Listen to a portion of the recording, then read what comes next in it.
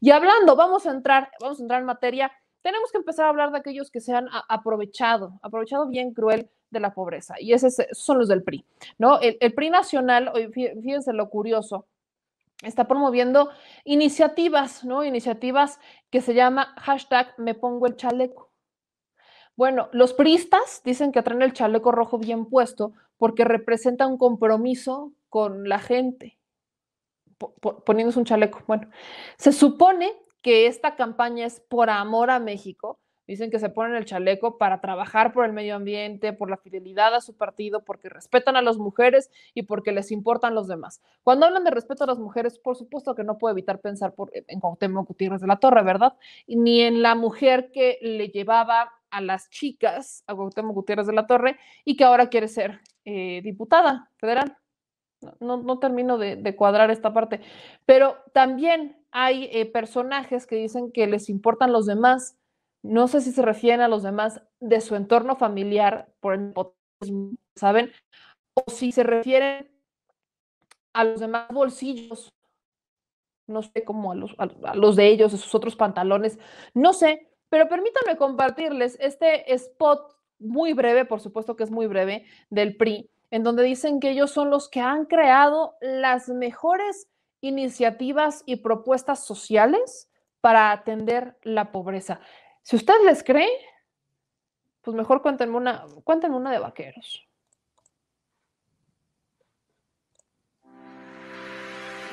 Yo me pongo el chaleco del PRI porque los gobiernos priistas hemos probado una verdadera política social que combate la pobreza. Los priistas tenemos bien puesto el chaleco por México.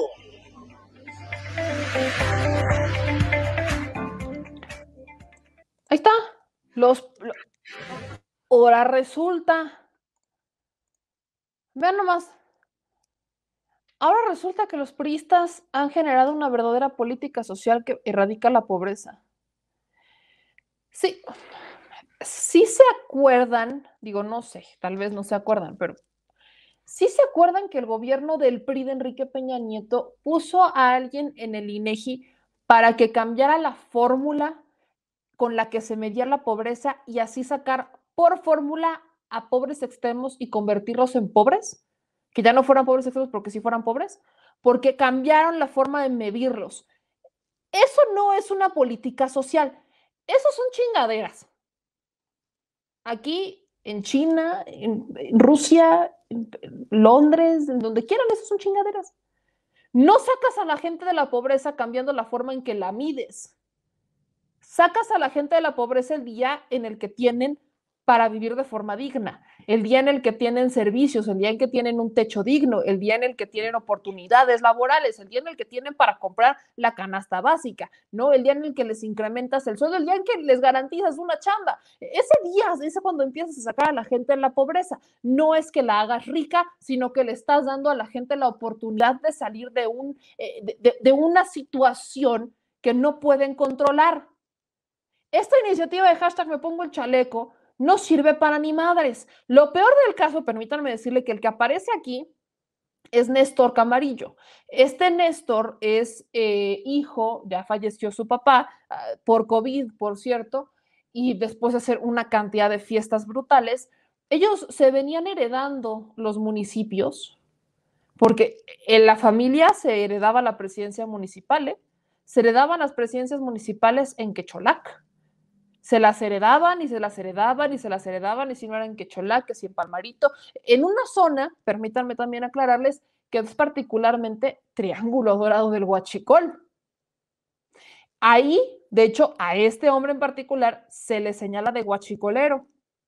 ¿Saben qué es lo peor del caso que este hombre hizo, Néstor? Cuando falleció su papá hace unos meses, tras hacer fiestas eh, durante plena pandemia, empezó a pedir aportaciones a todos los del PRI para pagar los gastos funerarios de su papá, como si no hubiera tenido suficiente con lo que se ha robado del PRI, como si no hubiera tenido suficiente con lo que se ha guachicoleado y como si no hubiera tenido suficiente con lo que se ha robado de los gobiernos en los que él encabezó, él fue presidente municipal de Quecholac.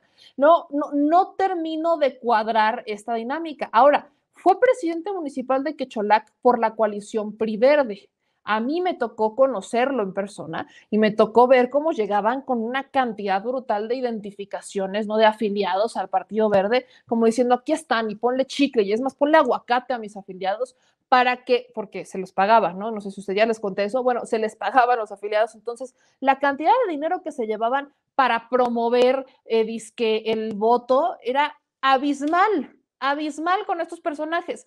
Y el hecho de que hoy los estemos viendo decir que el PRI es el partido que, ha, que mejores políticas sociales ha puesto sobre la mesa para erradicar la pobreza, con todo lo que les acabo de decir, más con todo lo que sabemos del PRI, más lo que tenemos como experiencia de las administraciones Enrique Peña Nietistas, Salinas de Gortari y, y previas, eh, Cedillo, etcétera, creo que no, no entendemos con qué quieren jugar, ¿no? Esta iniciativa definitivamente es una de esas tantas lamentables propuestas del Partido Revolucionario Institucional, que por supuesto, también permítame decirle, no es una idea nativa de, los poblanos, ¿no? Porque esto, este, él es de Puebla. No, es una idea que viene de Alejandro Moreno Cárdenas, el presidente nacional del PRI, que de hecho impuso a este personaje como dirigente en Puebla cuando dijo que no lo iba a hacer, porque bueno, ya saben, los del PRI dicen una cosa y hacen exactamente lo opuesto. Así hay que entenderlo. Entonces, el hecho de que veamos este tipo de acciones pues solamente determina que siguen creyendo que la gente es tonta. No, no son tontos. Ahí sí suscribo mucho lo que dice el presidente. Tonto el que cree que el pueblo es tonto.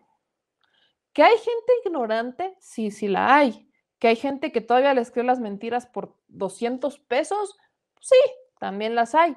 Esperamos, de hecho, erradicarlo en algún momento. Espero que en las próximas elecciones veamos muchas menos personas que se dejen comprar el voto, que vayan por la tamaliza y el tema de los acarreados. Eh, creo y espero que eso ocurra.